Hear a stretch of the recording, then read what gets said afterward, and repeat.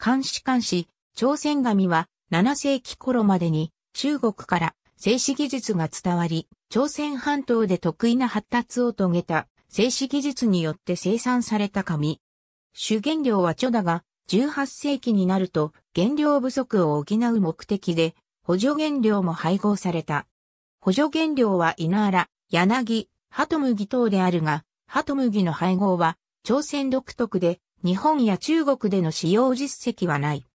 配合比率100%の構造紙は内紙等の後加工を行わなくとも、ついてから半年もすると木液をつけても滲まなくなるが、補助原料を配合した紙は、強磁変化が少なく、滲みが残ることがある。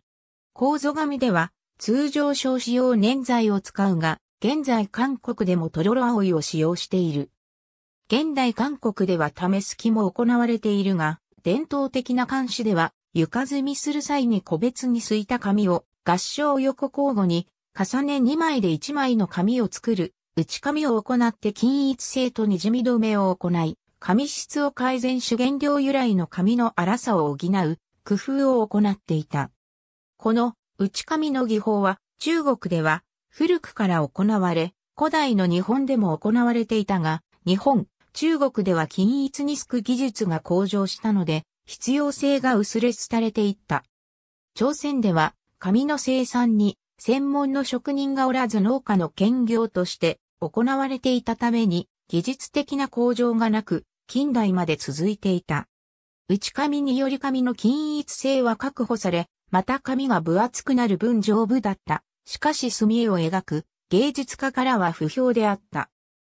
近代以降の漢詩は和紙の技術が取り入れられており、内紙などの技法は不要となった。また、輸入著と漂白剤の使用などでその質の低下が懸念されている。